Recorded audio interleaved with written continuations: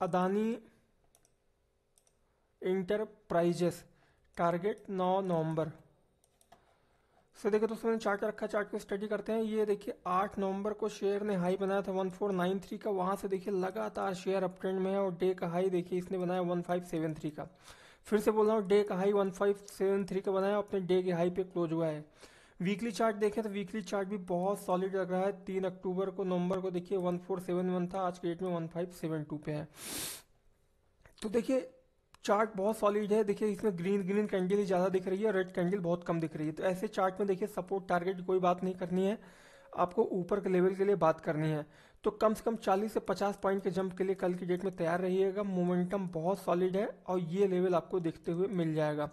अब देखिए Nifty future भी पॉजिटिव चल रहा है और कल की डेट में भी मार्केट एक पॉजिटिव ही ओपन होने की उम्मीद है। पूरा फॉरेन मार्केट भी पॉजिटिव चल रहा है, राइट? और हर एक जगह से डेटा बहुत ही सॉलिड है।